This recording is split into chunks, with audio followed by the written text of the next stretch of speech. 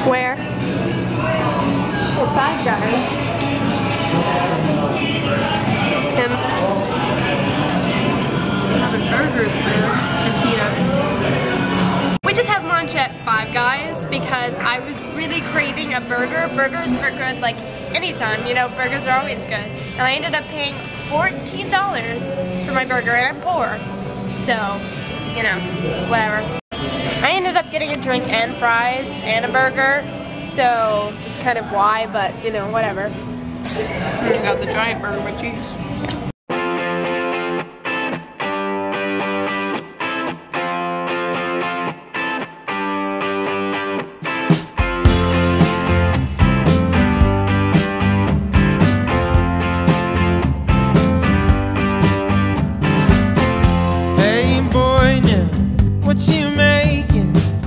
So basically, I have really, really bad allergies. Oh god, I can't even talk now. And for like a week, a whole week straight, I've had a really sick voice and like a cough and like stuffy nose and a runny nose and stuff. And it's really getting on my nerves and it won't go away. So I don't really know what to do about that. If you ever get the chance to come to Colonial Williamsburg in the springtime, you should definitely come to the Governor's Palace Garden. You do have to have a pass though, so you should get like a daily pass or something like that because it is worth it. You should always get it. Trust me. Yeah, always get a daily pass if you come to Colonial Williamsburg because there's so many more things that you can do around here. See, isn't this so gorgeous? Look at all those tulips. Oh no.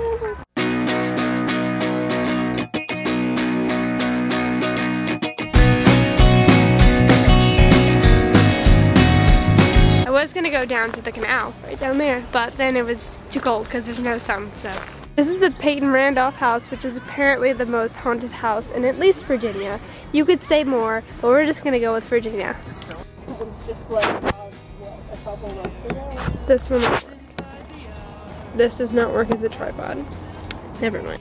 If I would have thought about it, I would have brought my other lens from my DSLR, but I didn't, so now all I have is my 30 millimeter, and you can't vlog with a 30 millimeter lens, so I have to use this, and I can only use this for the cool scenery shots because I was stupid.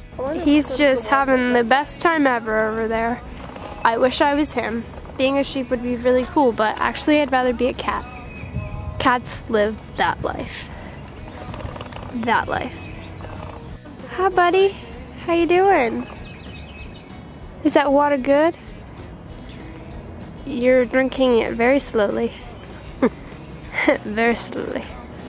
Please save us. Thank you for not picking the vegetables and helping us protect these heirloom plants from ex- Whoa, for real? Sorry. These are almost extinct? Yep.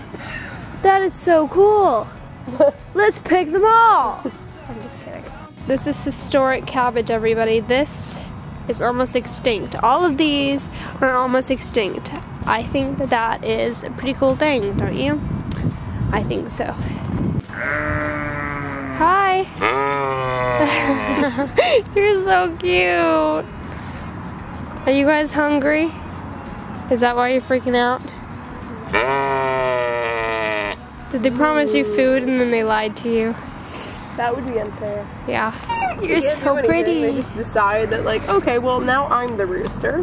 What? Yeah. The ma- the females do? Yep. I know. She's a vast knowledge of chicken behavior. It's amazing. I know. Abigail, Yes. tell me your favorite place to visit in Colonial Williamsburg.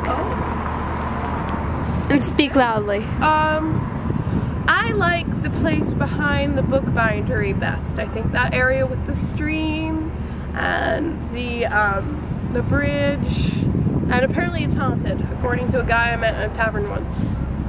So. You know that guy that she met at the tavern. Yeah. He told me that he saw a chick there. Bus, you're being very loud and disturbing my interview. Thank you very much. Sitting and reading. My denim on denim ensemble. Is it ensemble? Ensemble, yes. That's the word.